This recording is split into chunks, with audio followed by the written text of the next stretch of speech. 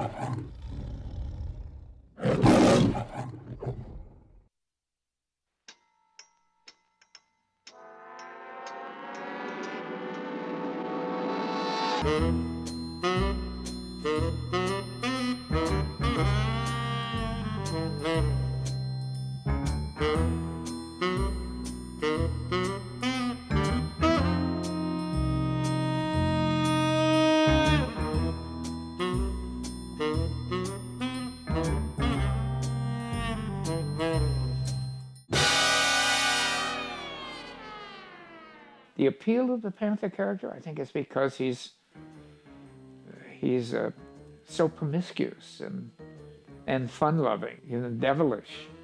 He's always he's a prankster. Everybody has different ideas on what the Pink Panther is. We all have our individual feelings about it. I think he's adorable. I mean, he's like a house pet. The key to the Pink Panther is simplicity and identification. And there's something else that goes along with it too, and that's sophistication. It all started when Friz and I were working for the Warner Brothers Cartoon Division. Well, it was Isadore Freleng.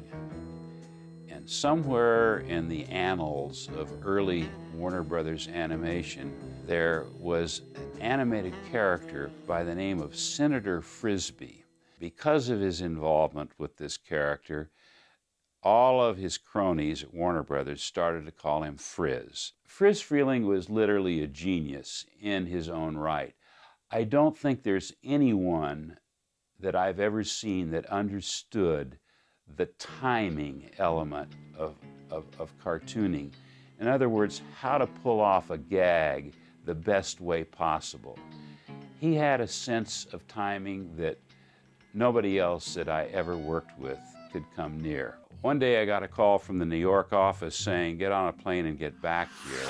They told me the decision had been made to stop the production of cartoons. Got home, started to think about it, and decided that I wanted to have my own business. I had to have a, an animation director. So I approached Friz and I said, after all this Warner thing is over with, would you like to go into business? Let's form our own company. Friz and I did indeed go into business together as DePatie Freleng Enterprises. We got along on a diet of television commercials mainly for, you know, the first few months of our existence. Then my life changed. One day the telephone rang and it was Blake Edwards. I uh, went over to his office and he handed me this script called The Pink Panther.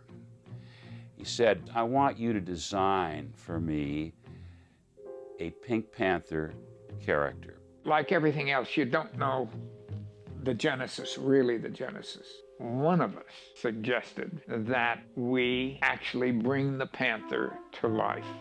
It most likely was either me or my uncle, who was uh, an associate producer, an executive producer on that, Owen Crump, uh, who uh, had a career at Warner Brothers and was very close to David DePatie and Friz Freleng.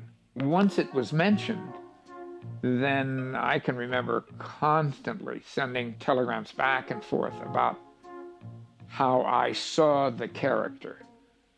I made up a background for the character. So Friz and I went back to the shop and got some of our top uh, designers together, and we came up probably a week later with, I'd say, a hundred or more different variations on what a Pink Panther would look like. So we hauled all these over to Blake's house one Sunday afternoon and laid them out on his living room floor, and he walked around and looked. And Blake is a very decisive guy. And what he did was he went over and he pointed to this one. He says, That's the one I want. The character was born. Probably more than anyone else, including Friz and myself, Hawley Pratt made the major contribution to the Pink Panther because it was Hawley's design that Blake picked that day. All he did with the character was he put it on his production letterhead and I think on business cards and that type of thing. And that was it. I'd say three months went by and uh, I got a telephone call again. Blake says, Come on over. He says, David, I have the film in the can now and I know exactly what I want to do with this character. I want you guys to create an opening title sequence, a main title sequence featuring the Panther. And when we heard that Pink Panther theme, uh, it complemented so beautifully the action. We take the picture out to preview. After the main title sequence is over with, they had to turn on the lights and shut off the projector. People were jumping up and down in the aisles and applauding and just it was screaming and yelling. I've never seen such a reaction. To this very day, I, I think the, the, the main title is is really an extraordinary couple of minutes of film. After that screening, um, I started to think, you know, there may be life after the main title. This character may have a place in animation. Well, I discussed it with my partner, Friz Freleng, and he wasn't too happy about it. He said, You know, this is a one shot. Well, I said, Friz, I, I really don't agree with you, and I'm going to see what I can do. And I went in to see Harold Mirisch. I said, Harold, I think that we've got something pretty special here. Uh, I'd like to be able to make a theatrical cartoon. After the, the release of the picture and its great success, uh, we decided that we should go into the cartoon business.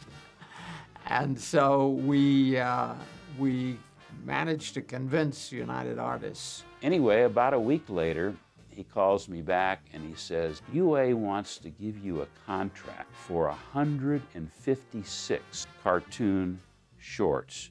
You think you can handle that kind of assignment? I took a deep breath and I said, Well, let me get back to you. So I went back to the studio and I told Friz what had happened. And Friz said, I don't believe it. I said, Believe me, it's there. But I said, Friz, we have one problem that I want to discuss with you. You and I have always worked for somebody. We've never owned anything in our life, and we didn't go into business to continue that. I said, I'm going to go back to Harold Mirisch and I'm going to tell him that I want our company to own 25% of the copyright. He says, You'll never get it. You'll never get it. So I went back to see Harold, and you know, I'm, I'm just a kid at this point in my career, and I'm scared to death of stu- studio executives. He goes, he says, I'll talk to you later. Out. Week later or so, the Mirisch lawyers call me in. Here's the contract 156 shorts and 25% of the copyright for DePatie Freleng. We created a group, including ourselves and Blake and DePatie Freleng, that uh, produced the first cartoon, which was entitled The Pink Fink. The Pink Fink was the first in the series of the theatrical cartoons that we made. And we were very, very fortunate that year in 1964 to win the Academy Award for it. Immediately then uh, began a, a, program of producing uh, uh, six minute uh, Pink Panther cartoons at the rate of one a month, which United Artists distributed. As time went on, we, we made more of them. He, he finally appeared on Saturday morning television other uh, shows developed from that. We had a tremendous following immediately in Europe for the character.